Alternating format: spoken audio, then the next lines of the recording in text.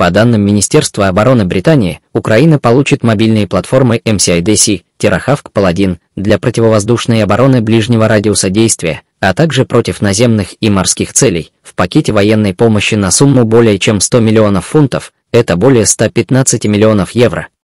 Платформа MCIDC Terrahawk Paladin это модульная машина компании-производителя MCI Defense Systems Limited, имеющая возможности дистанционного управления и повторного развертывания для защиты объектов от наземных, воздушных и морских угроз на близком расстоянии.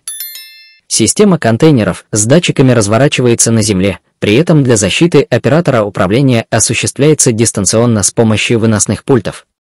Повторно развернуть систему можно с помощью военной машины поддержки или системы на базе прицепа, имеющих необходимое пространство и грузоподъемность.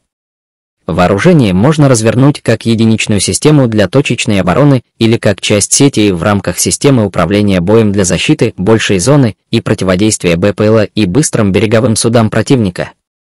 Это дает возможность Терахавк Паладин эффективно выполнять широкий спектр полевых задач. Среди них прикрытие ценных целей, критической инфраструктуры, уязвимых точек, усиление сил для защиты побережья и границы.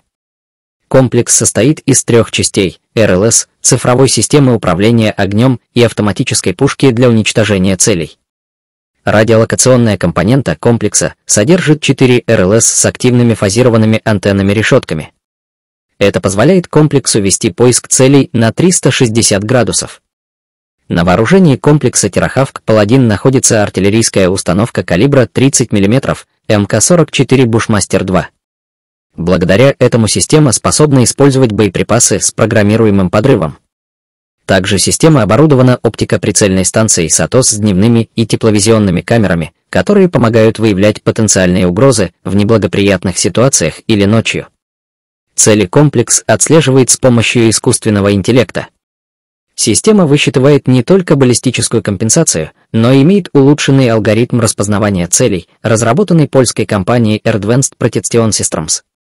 В то же время, эта система может отслеживать несколько целей одновременно, сообщая точное трехмерное расположение объекта в режиме реального времени.